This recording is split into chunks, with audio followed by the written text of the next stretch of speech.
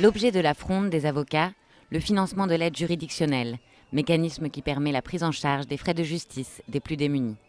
La garde des Sceaux envisage de taxer le chiffre d'affaires de certains gros cabinets, ceux qui n'assurent pas de mission d'aide juridictionnelle, par exemple les cabinets spécialisés en conseil fiscal.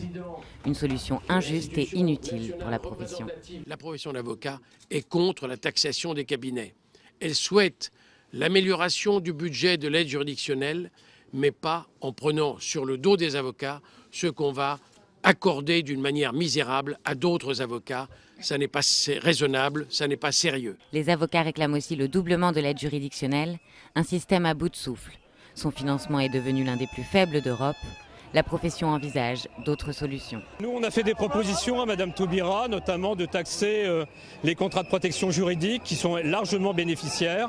Donc il faudrait qu'on ait un véritable dialogue aujourd'hui pour trouver une solution. C'est-à-dire que non seulement on a des revendications, mais en plus on propose des solutions à la, à la garde des Sceaux. Aujourd'hui, 9 millions de Français sont concernés par l'aide juridictionnelle en France. Un médiateur doit être nommé par le gouvernement.